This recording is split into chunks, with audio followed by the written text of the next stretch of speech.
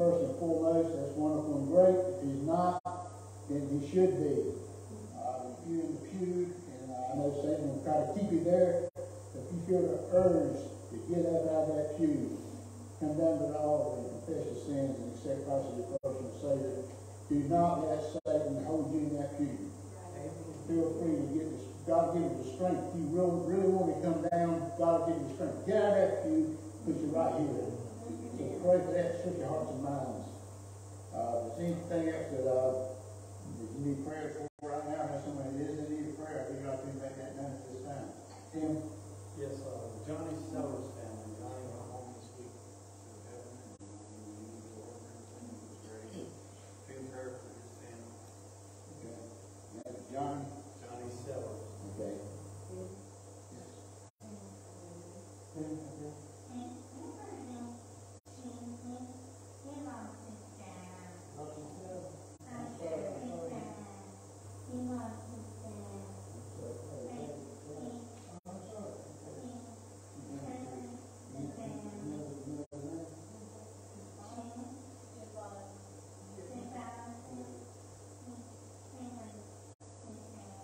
I surely will. Sorry to hear that. Great try, but tomorrow to do, she had a stress test and a echo cardiogram report. And then Heather was here this morning, she left, um, she showed us some Sunday school class, she found about two before an ultrasound and a mammogram before the first one showed some abnormalities and she's really concerned about that.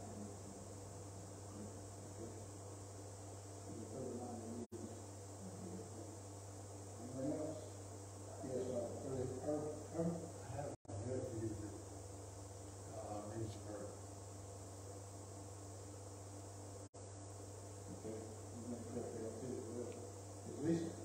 Um, my mom's sister's, um, husband, um, Bob Elbridge, he had his neck surgery on Friday morning, and they have got him in ICU, and he came through the surgery great, but he has to stay in ICU for the next two weeks, and the next two weeks is gonna be a tale of whether or not he will able to move his neck anymore or not, or if he'll be paralyzed. Um, and so they wanted John to continue to pray for him for the next two weeks. And his wife Gloria, she's having a lot of arthritis and troubles in her hips, and it's affecting her bones, so she's not been able to walk that well. She's his only caregiver at the present time, and she's actually in therapy herself to learn how to do these things again. So she needs strength and prayer to get her through these next two weeks because she's limited on what she can do for him.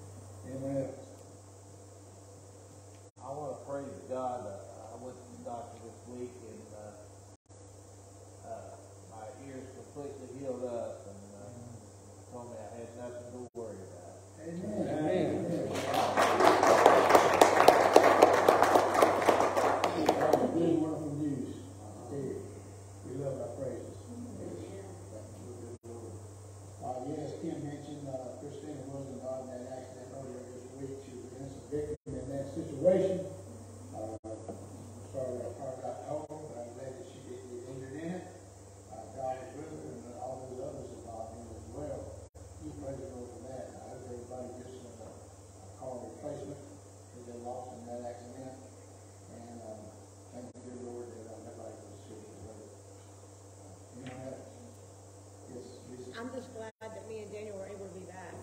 Amen. Yes. That stomach virus, bug, whatever it was, it was awful. Um, me and him both bent over, cramps, holding walls. It was, it was no joke. So, I'm just We glad- cared for one another, but Yes, I'm just glad to be back. glad to have you back, truly, uh, yes, Sheriff. Please remember Kirsten and Carl and the babies, they're having a difficult time with sickness and things going on. Okay. Yeah, it's kind of fire, something else. A lot of stuff going around, as I know, it's, uh, it's contagious right now, so, uh, be cautious when you're out and about, and, uh, take all the precautions possible can. Anyone else? Hearts and minds are clear, let's go, Craig. Lord gracious Heavenly Father, I stand before you. I heard the needs and petitions and concerns associated with my brothers and sisters in your house here today, Heavenly Father, Lord. Because we great concern, Heavenly Father, they have so much burden they are carrying right now and the worry that's on their shoulders right now, Heavenly Father, Lord. I take this opportunity to lift each and every one up to you this hour, Heavenly Father, Lord. And ask that your healing power be a minister to the sick and afflicted. That your guides be a minister and souls. And let your burdens be lifted from the shoulders of your children who are trying to carry you on their own, Heavenly Father, Lord. We do try to do things on our own, but we know we will, fail if we try. We've got to include you in all that we try to do, Heavenly Father, Lord. You're our source of strength and guidance. We need to be with you and look to you for all the strength we need so desperately to get us through the day and through the troubled times we're in. And Lord Heavenly Father, I know that each one of these uh, children in your house here today, that the concern they have in a way is heavy on their hearts and minds. And they're concerned about the sick and afflicted.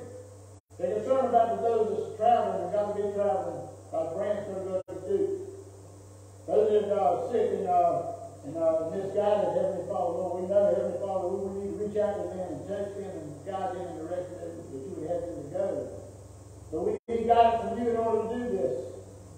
So we pray for guidance from you, Heavenly Father, we may able to achieve the mission that you placed before us. Give us the strength and the tools that we need to accomplish this mission. We want to be great, better servants to you, Heavenly Father, Lord. And we know that if you ask us to do something, we willingly should be willing to do it and be obedient to you. And not be afraid to do it because we have lack of experience or knowledge pray we not fail in this attempt. But we should not worry in this area. If you call us to do something, Heavenly Father, Lord, you're going to give us what we need to fulfill that mission and accomplish it well and, uh, and succeed in it. We thank you so much for that, Heavenly Father, Lord. And Lord, we thank you for the, the, your children in your house here today. We thank you for the, the time they take to come to worship you, praise you, and glorify your precious name. We thank you for the protection you show in our children, your children, Lord, love you walk away from. We see your healing power and your miracles are still at work today. We just got to have strength and faith and trust and love in you, knowing that you're going to come through with our requests and our prayers are going to be answered through your grace and your glory. Lord, Heavenly Father, just give us the, the guidance that we need to fulfill all duties you place before us. Guidance we need to, make it through the day with all the saints putting ahead of us. The guidance we need to help others in need. God we need to reach out and touch those in need. Protect those that are lost, misguided. Lord, we just ask that your blessing be upon us today. We thank you for each every opportunity we have to serve you.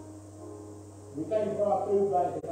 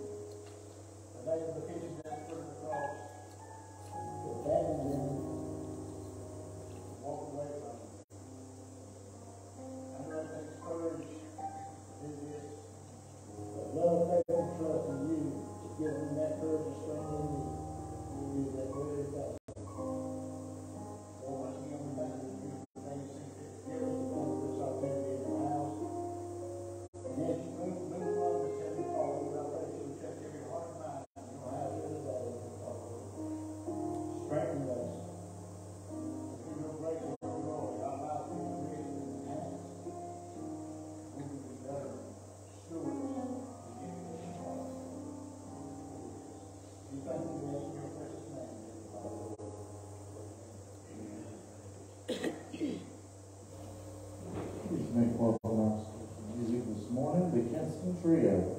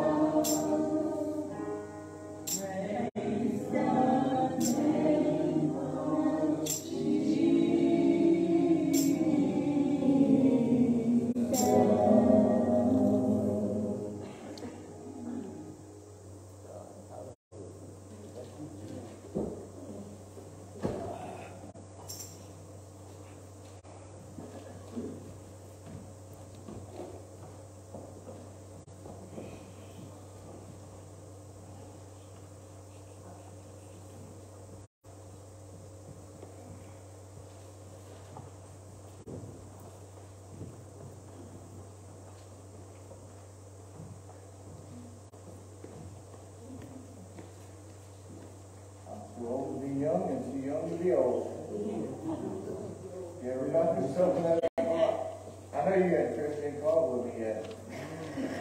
But he's on the heel thing. it's rookie in our age is still looking so good. I don't know what we're gonna do, brother. I just had a little fun with y'all this morning. This past week on the news I saw something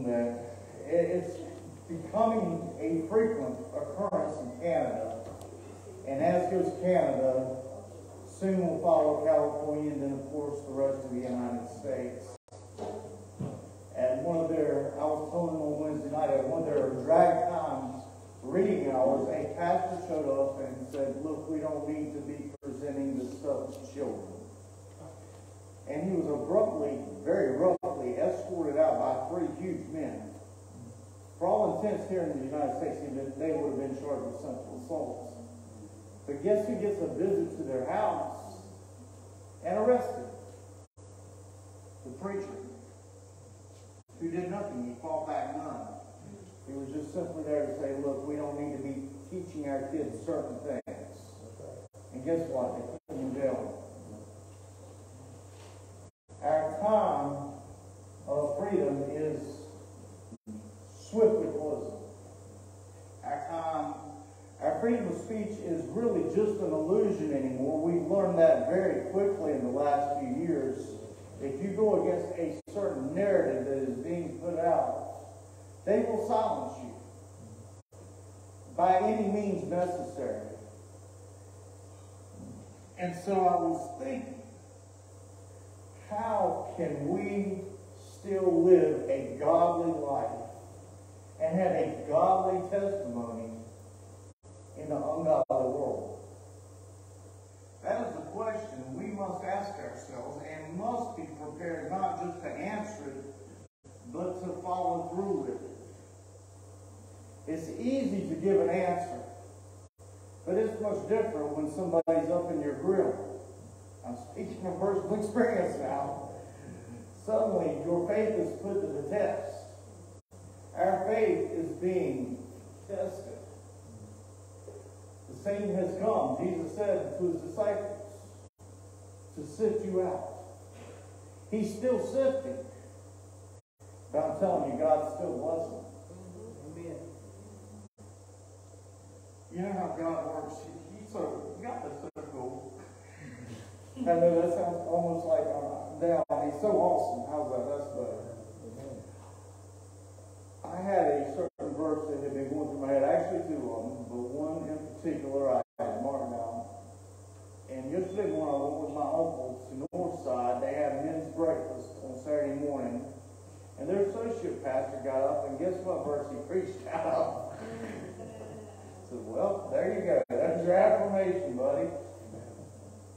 We've been, and ironically, we have been in this book on Wednesday nights now for a few weeks. Um, God kind of gave us a detour from where we had been at. And so if you would turn with me to James, the, the epistle of James is right there before the end, right near Revelation. Go back a few pages and you'll be there. And we're going to look at chapter 1. We're going to be have a couple of short verses, and then I'm going to take you to the Old Testament for a couple of verses. And the two would never seem to comport together, yet you cannot separate one from the other. Lay out some understanding for you of what has happened. A lot of people say we don't live in Old Testament times, so they ignore the Old Testament, and that is a horrible mistake. We're no longer dietary laws of the Old Testament. We're no longer under the ceremonial and sacrificial, which was your ceremonial laws of the Old Testament. However, we are still under the moral laws of the Old Testament.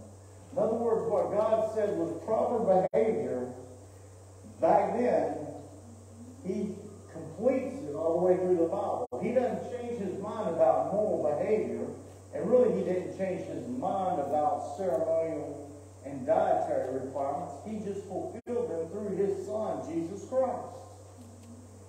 So what we're going to find is there are certain attributes as Christians, mature Christians, we need to exemplify. James, of all the epistles, he was the baby brother of Jesus. And if you do a little bit of research on him, you'll find he was one of the last ones to actually believe in Jesus. Well, that'd be ironic, but it makes sense in a way.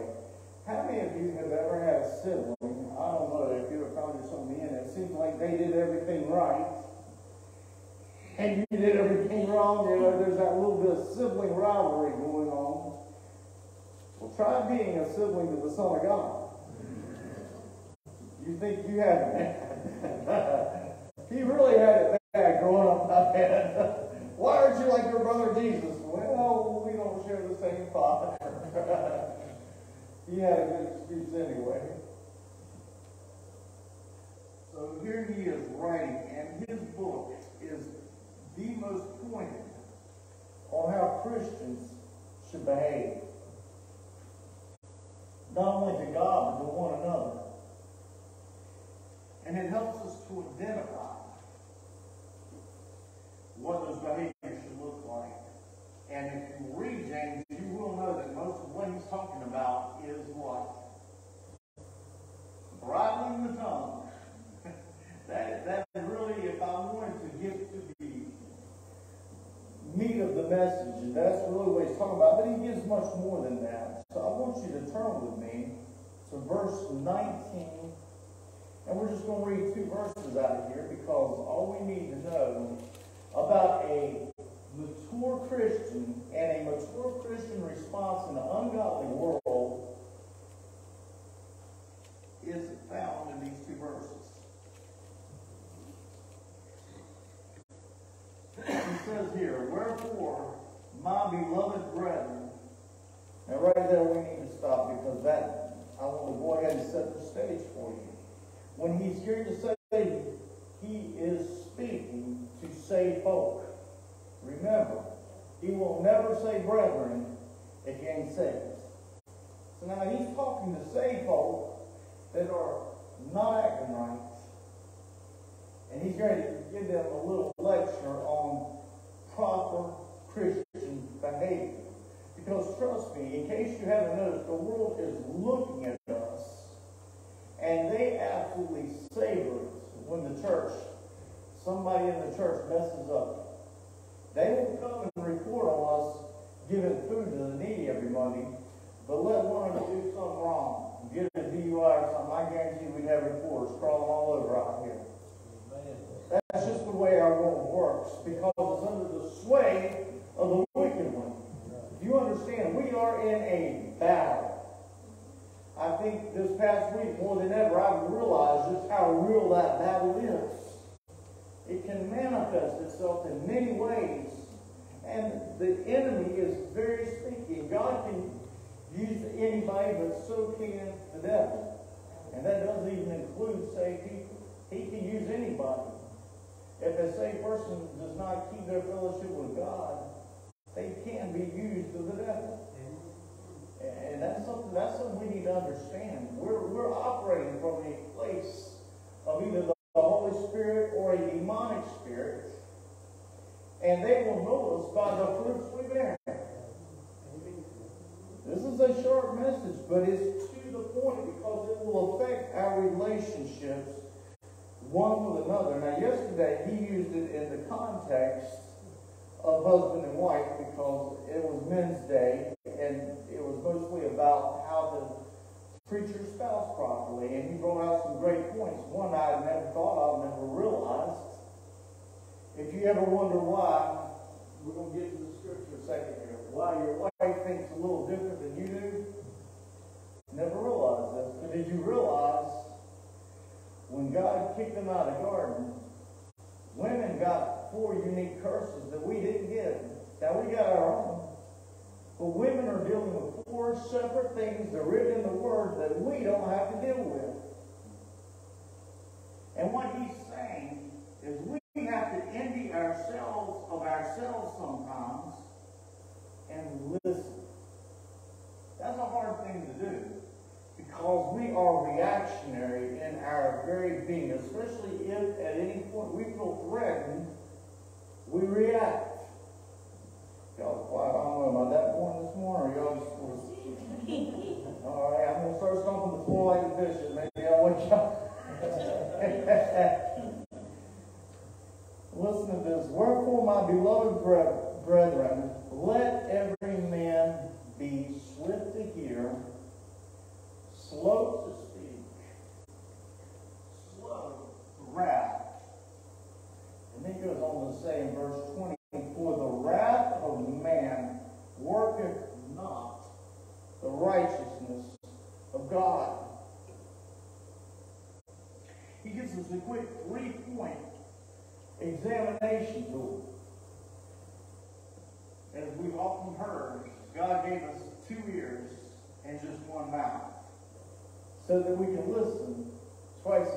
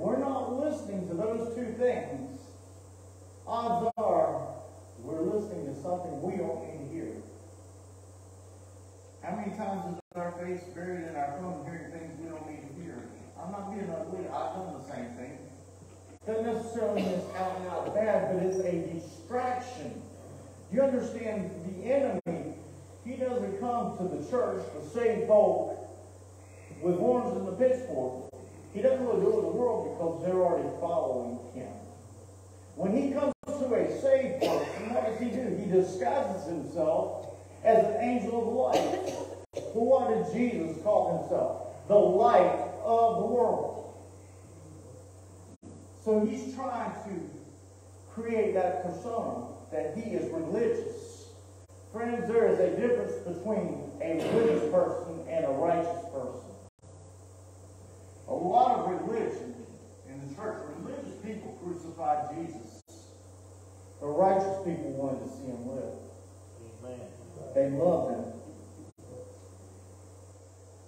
Seven times churches, we hear the phrase in Revelation, He who has an ear, let him hear what the Spirit says to the church. The first question I would ask you this morning as a believer, are you listening to what God's saying? Or are you consumed with an agenda? It's easy to get consumed with our own agendas. I'm guilty as charged. Man, sometimes I get on high speed and all of a sudden God puts the brakes on me and says, wait a minute, hold on. Let's examine ourselves. Mike, I want you to go this way, but you're heading 100 miles an hour down this way. I'm going to slow you down a minute, and I'm going to turn you around. I'm going to send you the other way. He's going to do that to you too. Seven times he would say that to the church.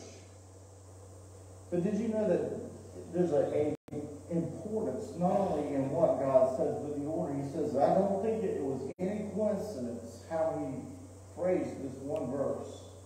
The first thing to being a godly Christian and a first sign in your step to being a mature Christian is that you are a good listener. If you can't listen, then you've got some work to do. God's got some work to do on you. There is some submission that needs to happen to God and to the authority that He has established. We must listen. Listen what he says over in verse 22, one of the best known verses in all the Bible. But be ye doers of the word and not hearers only, deceiving your own selves. Boy, he gets to the mark there. We need to hear the word, but then we need to do the work. I can tell you how to drive an 18 wheeler, but until you get behind that rig, you ain't gonna know how to drive. I promise you, you will take out half the, the telephone poles and stop signs in town. There's no joke turning them things around. If you manage to get it past fifth gear, because it's a trip. It ain't like driving a five speed, by the way. Unless it's all automatic, is what I wanted to say. You try driving a ten speed truck. It was hilarious that first few times out as students. I, I don't know how the trucks keep a transmission in them because all you do is grind every gear on the way up and all the way down. It's pretty scary. We need to be good listeners, one to another. And to listen to one another, that means we have to envy ourselves of ourselves. And to be a good listener to God, we've got to take out our agenda. I have heard people that can quote scripture. As a matter of fact, I have witnessed sometimes, believe it or not, to some drunks that were drunk as a skunk and they could quote the Bible better than most people in church could. And that's a sad commentary, but it's the truth. I'm going to go ahead and tell it. But just because you can quote the truth doesn't mean you're living the truth. That's right. And so we need to have our actions match what we're speaking and what we're listening. The next thing he talks about is speech. Slow to speak. Did you know the actual translation for that, a better translation for speak there is be slow to murmur. What is murmur? Complain. Now, when you get right down to it, we shouldn't complain at all. Truth is, we have so much, we ought to always have praise on our lips. But James understood us well enough to know that when we're still dealing with this sin nature, we will till we die or until we're raptured up. And that we were going to be uh, complain every once in a while about something. So he's saying, at least make it slow. Don't do it all the time. You know, try to to a minimum. Please, thank you very much. Who wants to hang around somebody who complains all the time? How does it look for a Christian to always be complaining? Does that speak highly of the glory of God? That's why he says, be slow to speak. And then finally, and probably the most important one is slow to And boy, this one hit on me, but in a way I can look back and say, and I can honestly say this, and I'm not patting myself on the back in a self-righteous way because I've still got a lot of work to do. But my fuse is a lot longer than it was 20, 30 years ago. I'm not proud of this, but I'm going to be honest with you. I used to have a nasty temper. And that's one of the hallmarks. Right now, talking to the saved, so we know that even a saved person can have a really nasty disposition. How many times have we witnessed that? Expect it.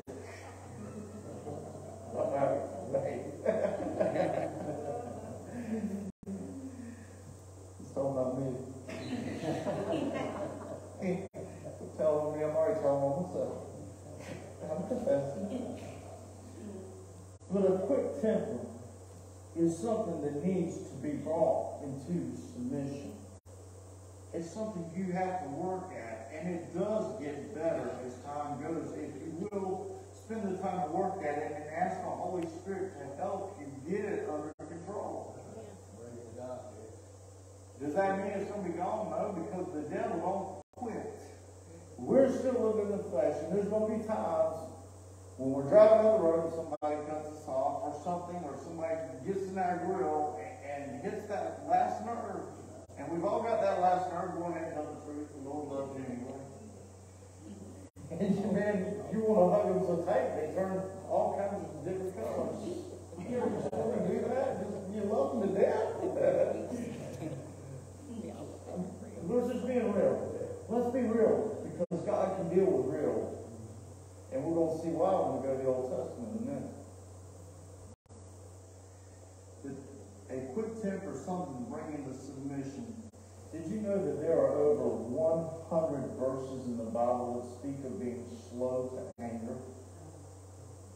Do you think that's important to God? Because most of them have to do with God himself being slow to anger. If you are being put to anger, you are not exhibiting a Christ-like attitude. And it needs to be adjusted. Either God's going to adjust it, or one way or the other, He's going to straighten you out. It's much easier when you just go ahead and confess and ask God to help you. But listen to a few of these verses. I'm just going to read you a few verses of what God says in being slow to anger. Psalms 103, verse 8. He says this The Lord is merciful, slow to anger, and abounding in steadfast love. Now we say we're Christians, but are we exhibiting those attributes? Because listen to Psalms 145, 8, very similar.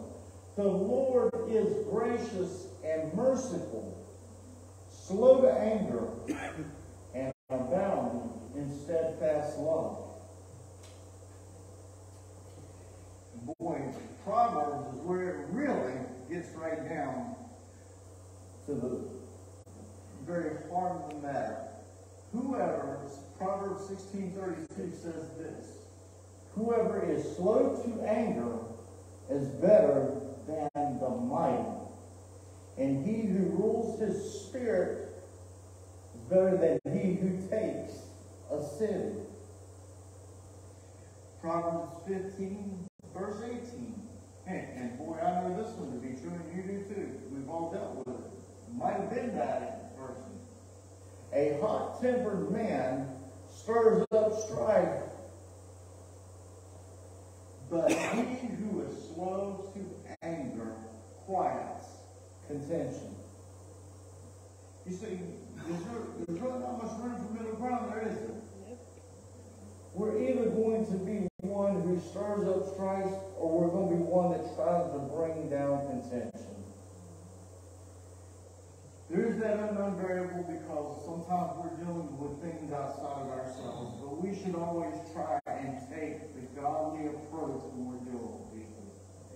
So that at the end of the day, whatever happens with whoever the people are we may be dealing with, the other people, fellow Christians first, and then the world second, can look at us and say, wow, they really handle things in a godlike manner. That's where we need to be all the time. And that's where I have to challenge myself. Am I handling things in a godlike manner? And it's a learning curve for all of us. Because our whole nature the same whether we want to admit it or not. there are people that can tweak our last buttons. Hello? And don't look at your spouse and say, yeah, honey, it's you.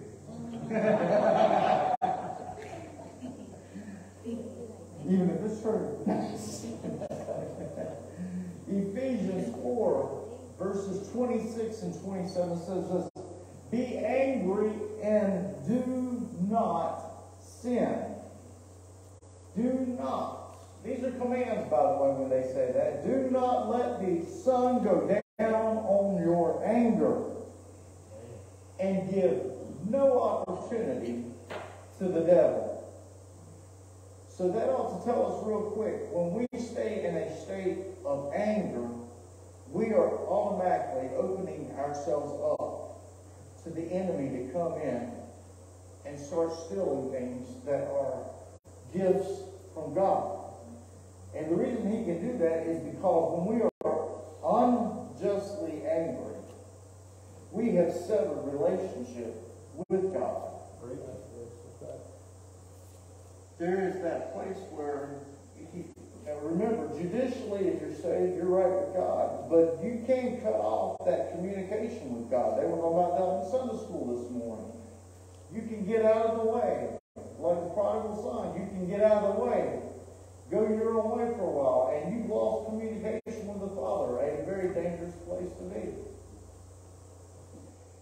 Verse 20, it says, For the wrath of man worketh not the righteousness of God. We need to be the righteousness of God in Christ, but if all people see are angry people walking around stirring up strife and contention, they're not seeing Christ.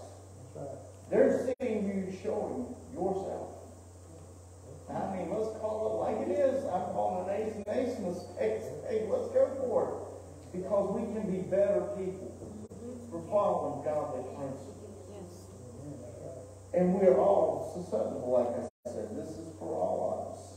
Mm-hmm.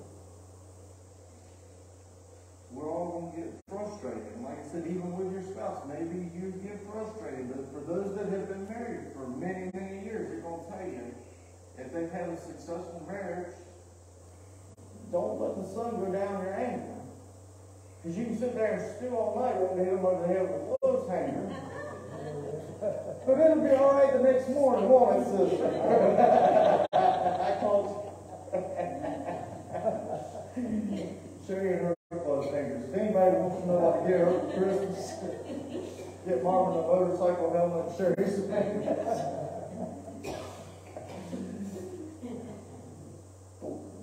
But what is wrath? Because we need to be swift to listen, slow to speak or murmur, and slow to wrath. Wrath is when you put legs to your anger. You be angry. We all get angry, do we not? Is there anybody here that, that they, they're so close to glory they don't get angry anymore? Uh, I didn't think so. Now we got that out of the way. Go from places where you're kind of angry inside yourself, and you start lashing at others around you, whether it's your family or whoever, and you start saying things, and trust me, once you said something without the Spirit of God behind it, you ain't getting that cat back in the back. It's out. Your wife might forget what she fixed for dinner last night, but you say something wrong, and I guarantee you 30 years later, you're going to hear about point again. I'm telling the truth, or same with a man. I mean, I'm not speaking on women this morning, I'm talking it works both ways. We, we remember those negative things that we make sure of. That's our sinful nature, wanting to remember the negative instead of the wonderful things in between. Many times there's wonderful things that we're missing. That's one of the things I'm loving. You know, Chris, you know, we're, we're, we're middle aged now. I'm loving it. I don't worry about the stuff I used to. Now, I admit that I'd like to have some of my health back. But isn't it nice just the things that, and you can relate to, Daniel, man, we used to, us guys, as young guys, get fighting mad, you know, if somebody's getting our face, well, we're ready. Let's go, boys, outside, let's rumble. But now, I eh, whatever. Street, bug somebody else. I'm, I'm gonna sit here and I'm gonna enjoy the beauty God's created around me. I'm gonna love my family, the little things. Just the times me and my dad sitting there, and he's in his recliner, and I'm in the one beside him. We're sitting there just watching the whole Western together, just talking. Those are precious. Those are the things that, that matter. And I enjoy life now because God has taught me what's important. And yet I can still get upset. There is a huge difference between being upset about something and being angry about something. I can stand before you and say this morning, regardless of what has transpired in my life, even recent events, I am angry with no one and want to see everyone reach their highest potential with God. And if I can do anything to help facilitate that. I want to be the conduit of Jesus. How about you? So that's where it's at. But wrath, it is a smoldering anger that holds a grudge against someone. That's what wrath really is. Any of y'all ever been so mad and, and just the thought of revenge I like to hug until they turned every color of the bag of bag of Skittles. And then hug them a little tighter still. But I found out I wasn't hurting them. I was hurting me. And more importantly, I was hurting my father, having That's right. if they need to get straightened out, God will straighten them out way better than I can ever get them. Truth is, a lot of times He needs to straighten me out. It's my attitude He needs to work out.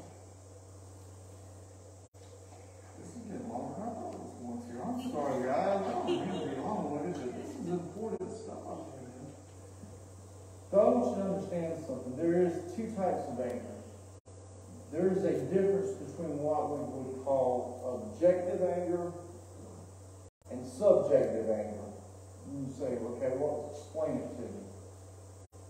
Objective anger is justifiable anger. When you see somebody, like you see on TV just about anytime on the news, getting pummeled over the head with a ball bat or shoved in front of a subway or, or children being beat up at school, that is a justifiable anger. Jesus showed us what justifiable or objective anger looks like when he went to the temple and they had Roman coins because they were in what? The Roman Empire. And then there was certain currency for the temple, and the money changers were sitting there taking a cut off the top every time they went to change coins so they could give their tithes to the temple. And Jesus sat down and watched that. I can see him sitting there watching it and getting hotter and hotter. It wasn't, and he never sinned. But he did clean house. Amen. There comes a time when the man of God's got to clean house. Don't let it upset you when it happens. Pray for him when it happens. Because there's going to be times that the enemy sneaks in, and what he's doing is he's trying to steal from the people of God. He's being led by the religious spirit, and a religious spirit is different than a righteous spirit.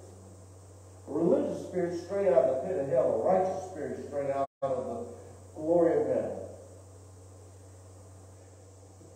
You cannot walk a righteous walk and burn the subjective anger. Subjective anger is when you believe you are justified in your anger even when you aren't.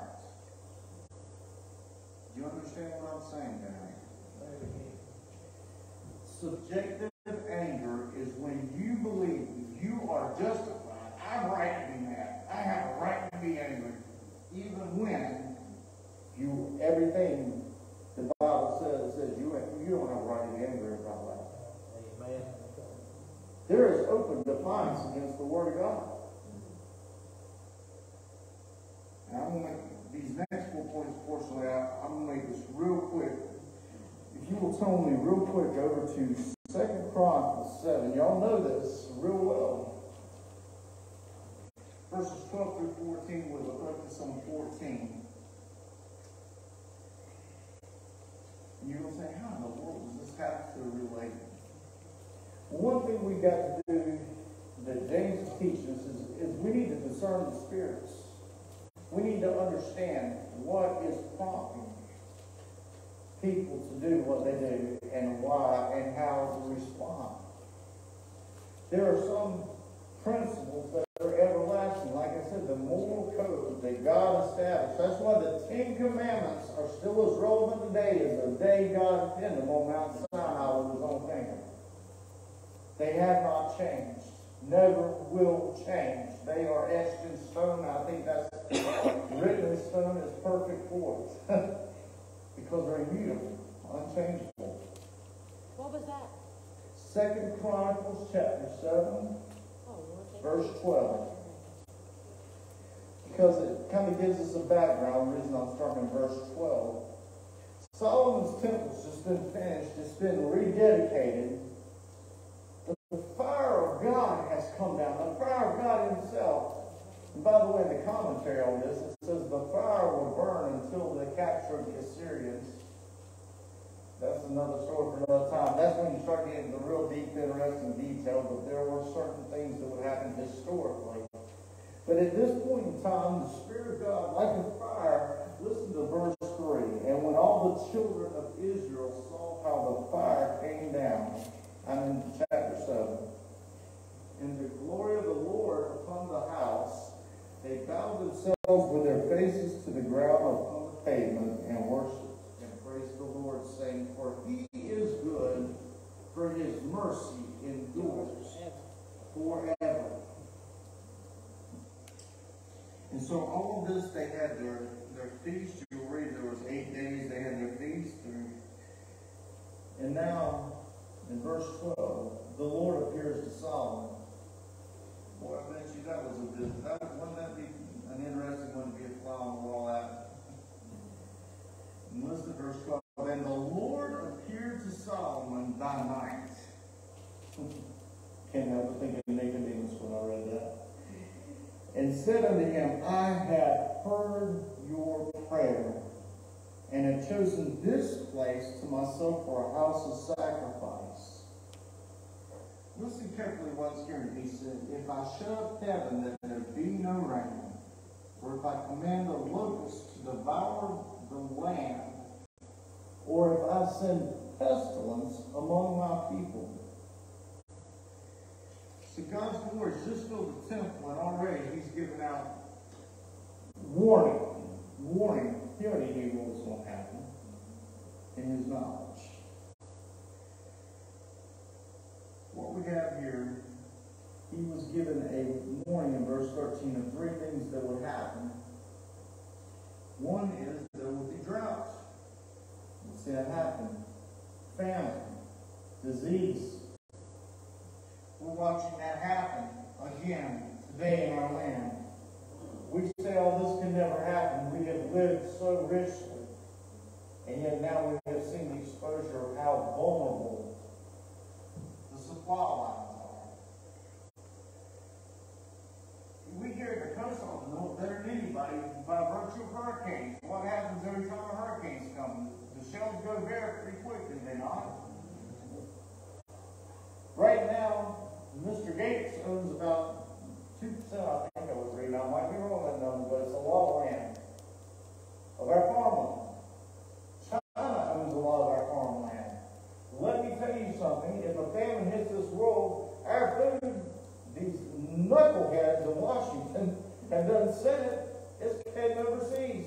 They'll let our own people starve.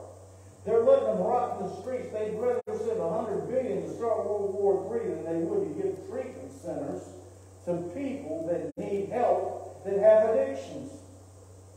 We've got a problem, and I'm telling you, it's not. We're not going to get it fixed by a new president or a new Congress or a new Senate.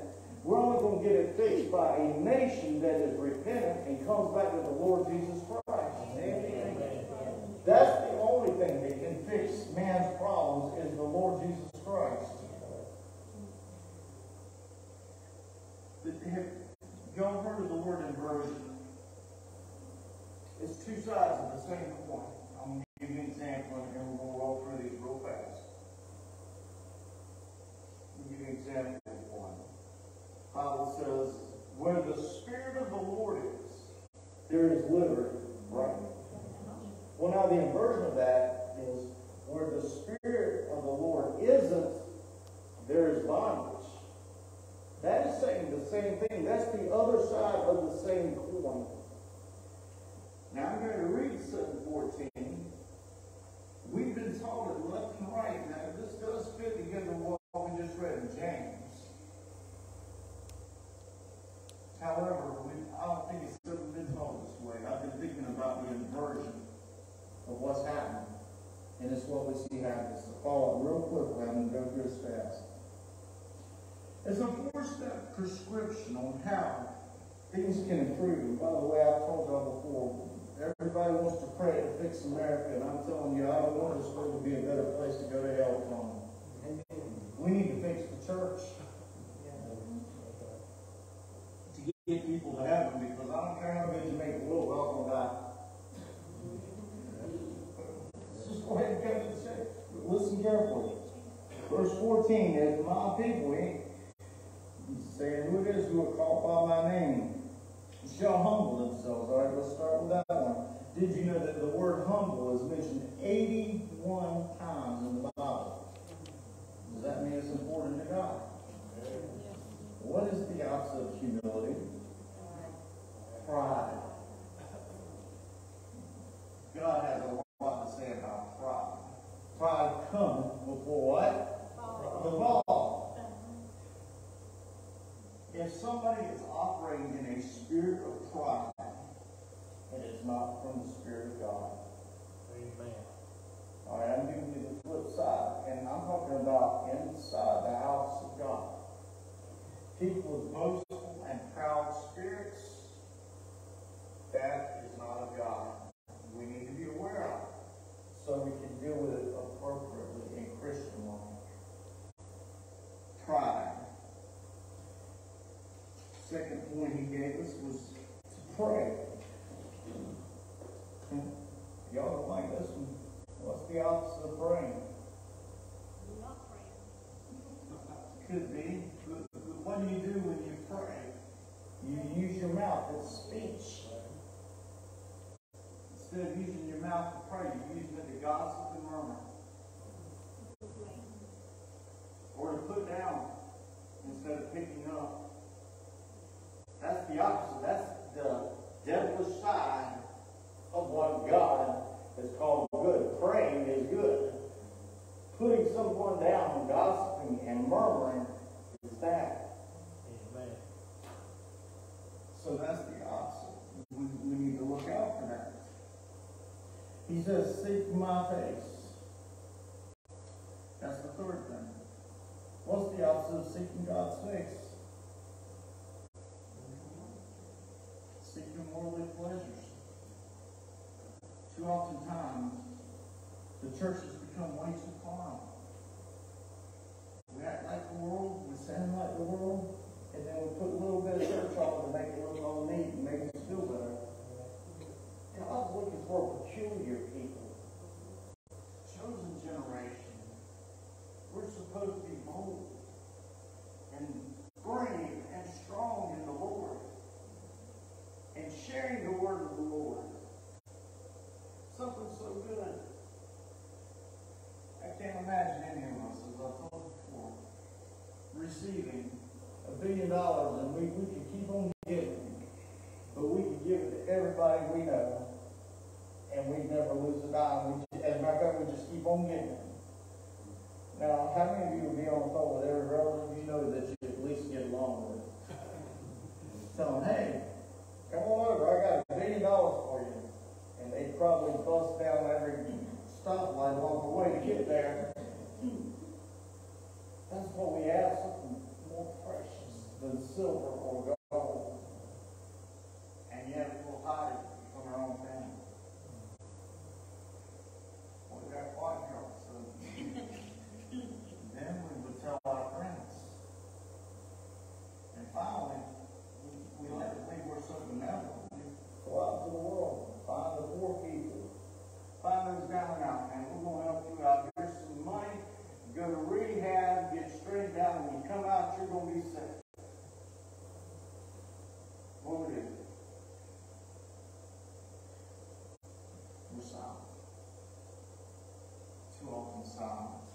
We need to seek His grace. And even righteous people. By the way, this was written to the Jewish nation, but the principles behind it are timeless. Turn from their wicked ways. The opposite of this, the demonic side of this, is to embrace the world around you. Think about that for a minute. How many churches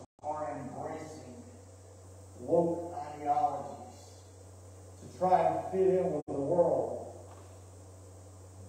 Folks, I'm not trying to fit in with the world. I'm trying to tell the world about Jesus before he comes back. Tell them that he's the only way to heaven. That he- I have no problem with saying Jesus is love because he is in fact the only source of love. He's paved the way for whosoever will that may come. But at the same point, we can't just blindly follow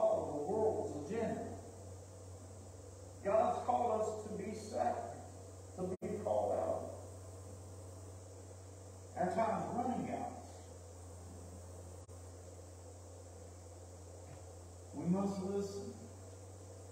We need to be slow to murmur, slow to anger. In other words, keep a check on our tempers. We need to be humble. That means seeing ourselves as God sees us.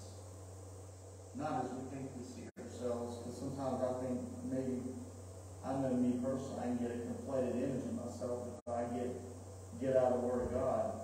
But the second you get in the Word of God, he'll, he'll put you back down to size real quick. And you want to look at this book, it's quick to read through, go to James, it'll straighten you out in a heartbeat. Realize you ain't as good as you think you are. Pray. Prayer is the linchpin to everything. Communication with God. But I'm telling you, you've got to get your heart right with God before your prayers are going to do any good. Amen. Y'all need to understand that principle right there. You pray all you want. For as long as you want, you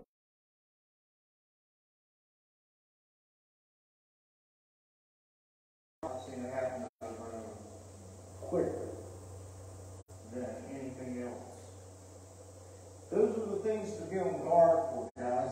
And if we can do these things and practice these two verses, we can walk a godly walk in an ungodly world. What's your heart's desire? Because that's what God's going to judge you by, friends. Are you, is your heart? That's what's going to determine your blessings. Now, when I say what he's going to judge you by, he judges you by whether or not you believe in his son. I'm not talking about your judicial judgments. I'm talking about the wonderful things he has set up for us. In other words, are you going to have a log cabin in the corner of the wood, or are you going to have a mansion on Main Street? I'm planning, I'm going to be like George